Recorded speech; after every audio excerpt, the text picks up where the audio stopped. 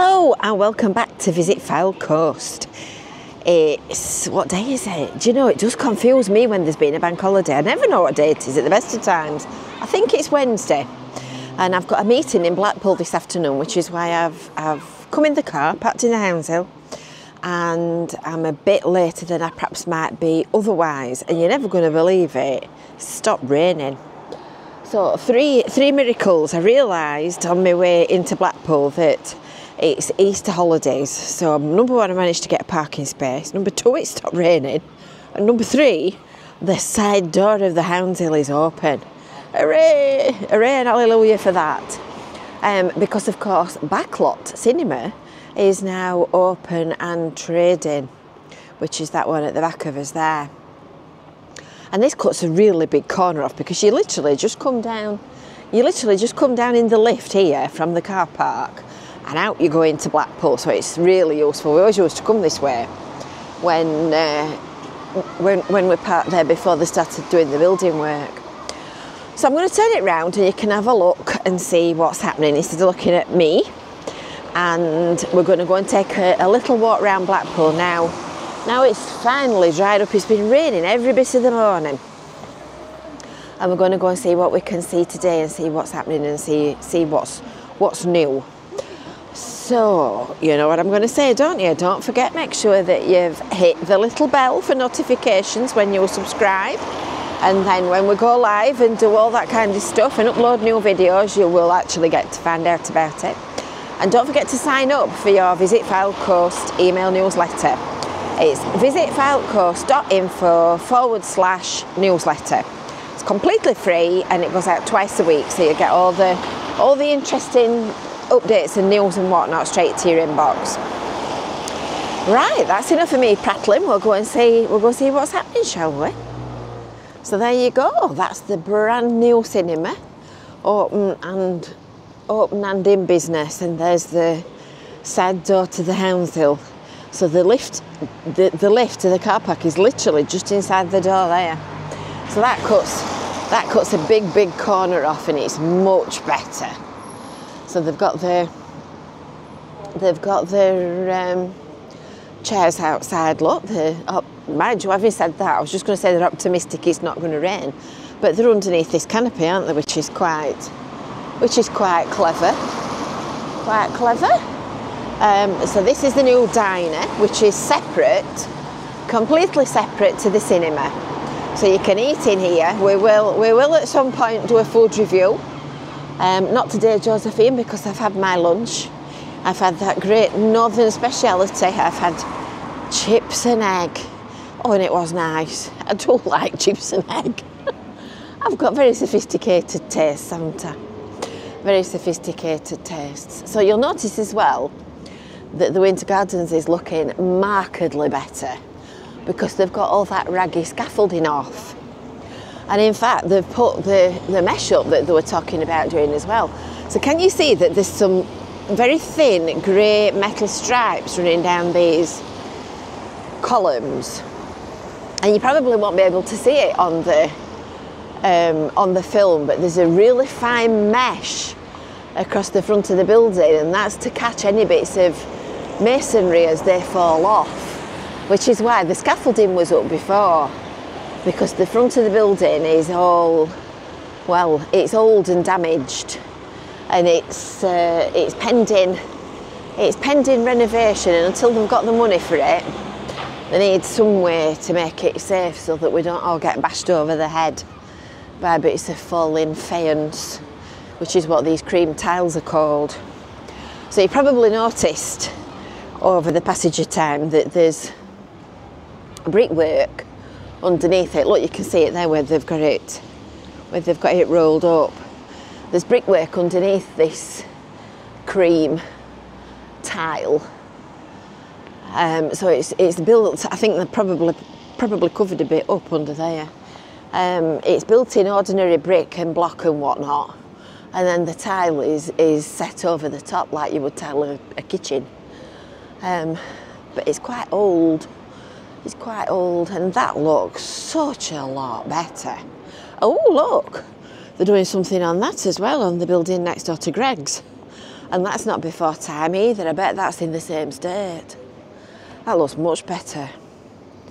Much better. This is the brew room. And this is Church Street. I thought he was coming straight down then. And this is the Stanley building. So this is the one that we did a, a video about a few weeks ago. And this is being redeveloped as a um, office space hub.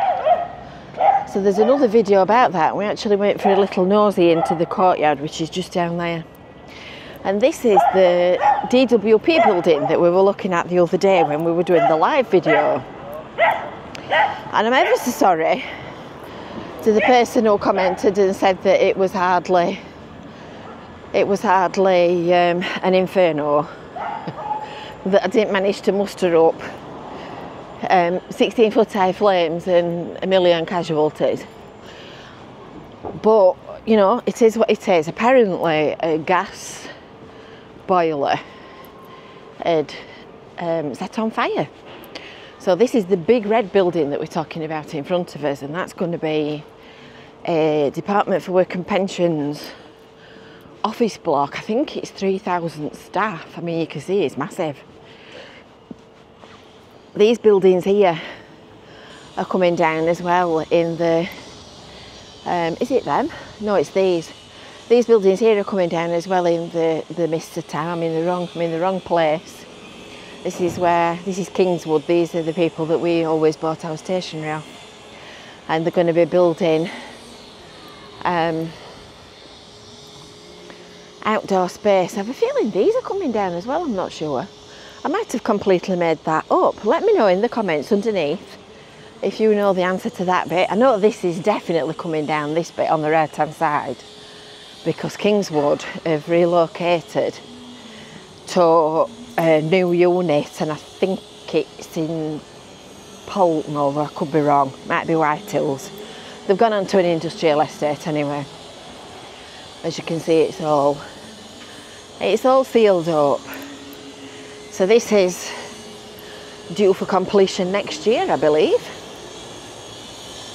And when we were here last week, it was surprise, surprise raining, and we were standing underneath the awning of the council offices just up here, underneath the umbrella watching the progress. I've not been around this side for a while. It's a big one, isn't it? It doesn't even fit in me. camera lens in one piece.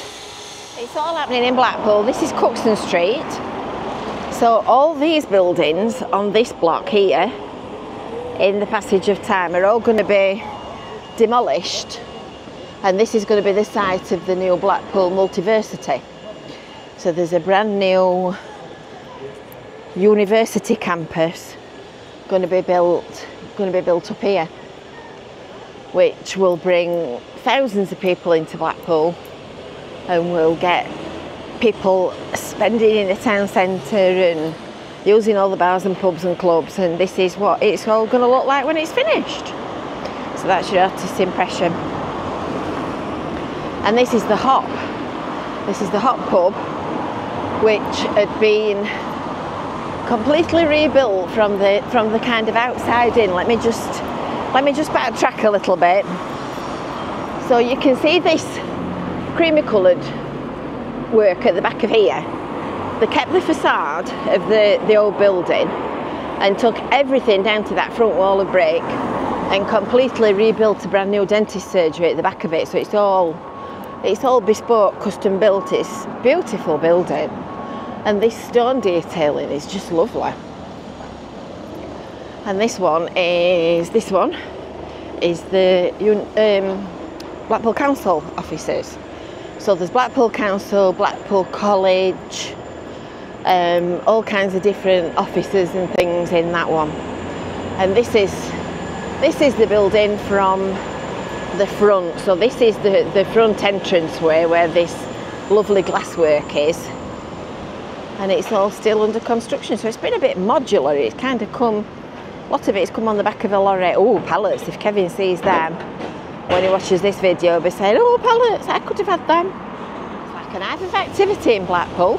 This corner unit here that used to be Tower Coffee is the one that our pal Paul has got from the shipwreck in Cleveleys. So that's going to be called the train wreck.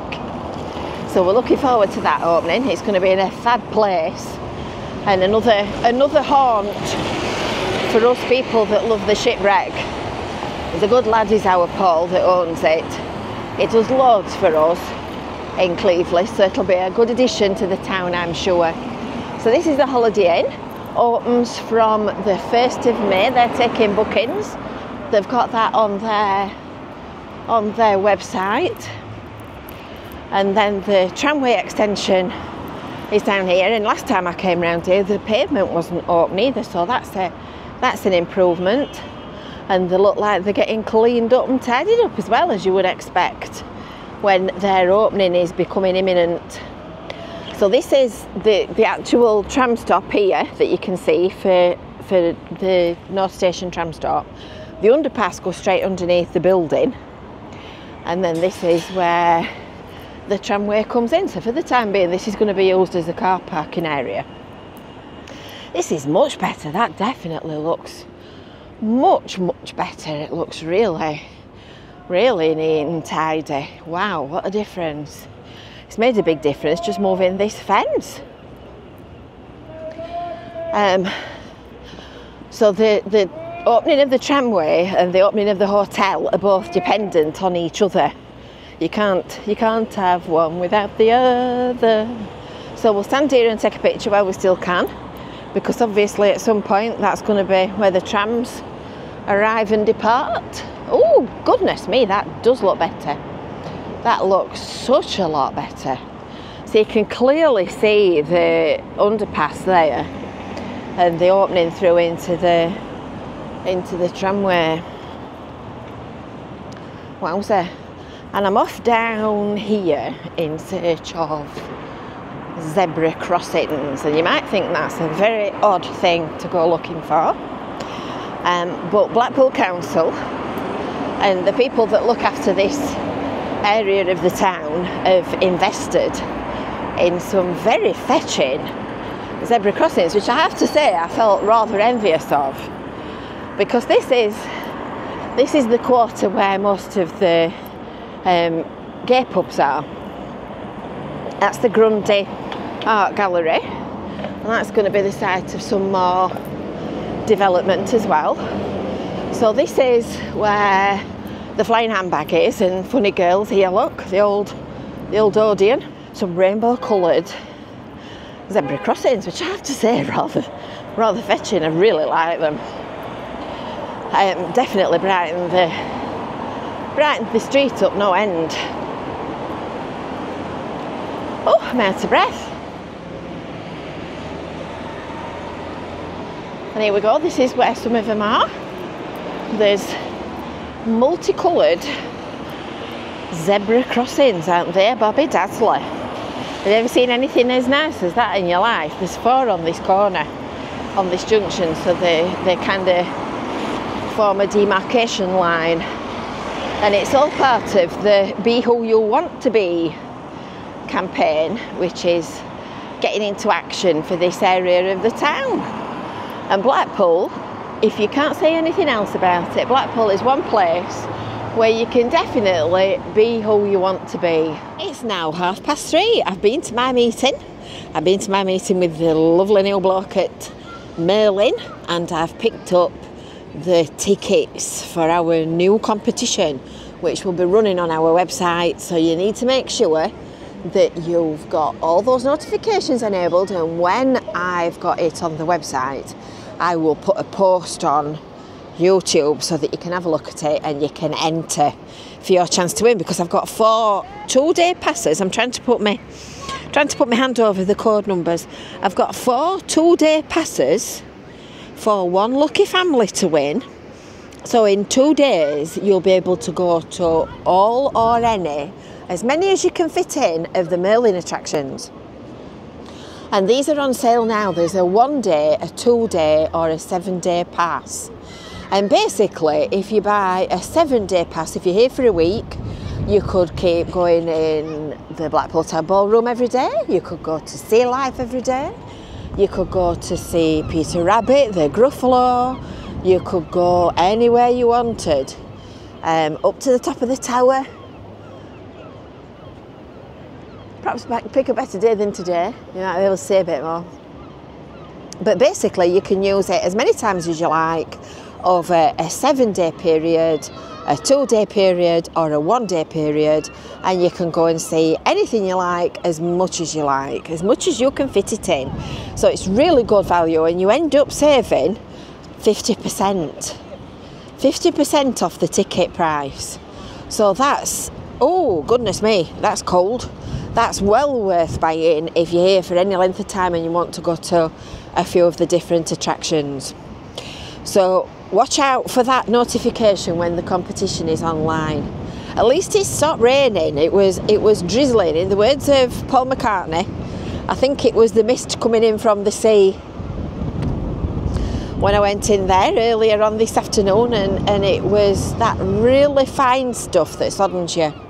Your family said that the the rain is really fine stuff that soddens you. It was really, really, really fine and I got really, really, really wet. So I'm really, really pleased it stopped, quite honestly. oh, it's gone really cold though. It felt ever so mild earlier. Um, but it's definitely cooler now. Having said that, I've got the full force of the Irish Sea at the side of me. So it's going to feel colder, isn't it? And I think that pretty much brings today in Blackpool to a conclusion. I don't think there's anything else I need to go and find or tell you today. Um, oh, speaking of which, just one other thing. Have you seen that new Coral Island tram yet? It's bright yellow. So they've vinyl wrapped a tram in Coral Island branding and it's bright, bright yellow. It's very good. I've seen pictures of it, but I've not actually seen it in real life. I think they all ought to be bright colours, they'd stand out better. I stand on the prom at the, the tram stops waiting for one and I'm squinting into the distance to try and see whether or not there's one coming. So, for the last time, don't forget to subscribe. Don't forget to hit that little bell and then you'll get all the notifications of things like competitions and um, live live streams and all exciting stuff and new uploads lots to come, lots to come. And don't forget to sign up for your Visit Fylde Coast email newsletter as well, because then you'll get alerts for anything interesting that's happening, and you'll get a weekend events guide, a weekend what's on guide for Blackpool. So until next time, we'll see you later. Bye for now.